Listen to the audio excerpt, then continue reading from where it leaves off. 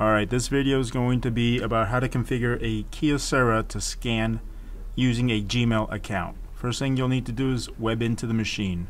You'll have to know the IP address. Then log in as the administrator. And that is both admin, both with capital A's, under username and password. You log in. Once you're logged in, you'll need to go scroll down to function settings and email settings. First thing you need to do is turn on SMTP protocol. So click on protocol, scroll down to SMTP, and you want to check that on. Under SMTP security, you want to select SSL TSL. Then scroll down and submit.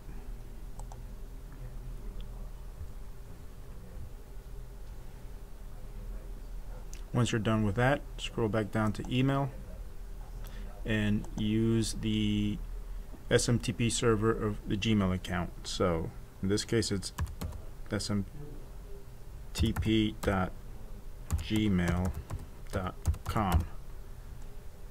Under port number, and this is the important one of the important parts, you have to use 465 because port 20 and 587 will not work. Under authentication protocol, you need to select on. And under authentication, you need to select other. And so you'll need to type in a valid Gmail account. A valid Gmail email account. In my case, I've already created one for this.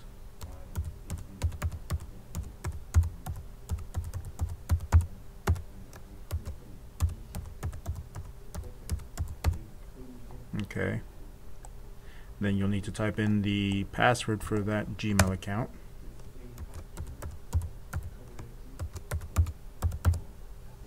Before you hit test, and this is the other important part, you need to enter that same Gmail account in this field, otherwise it'll error out.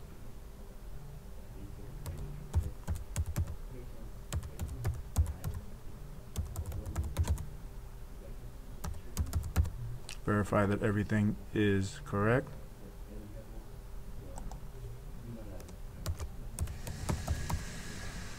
Okay,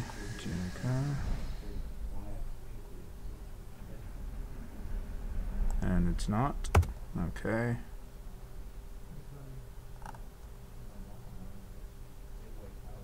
Okay. And hit submit.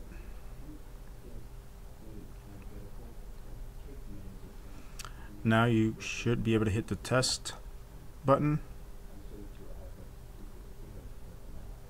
And connection is okay. So now you can go to the machine and start sending emails through the machine. If you want the machine to scan to you um, you can go to notification reports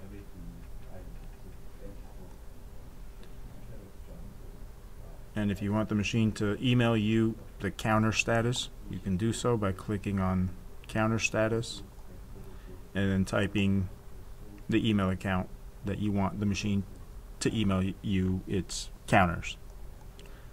Thanks for watching.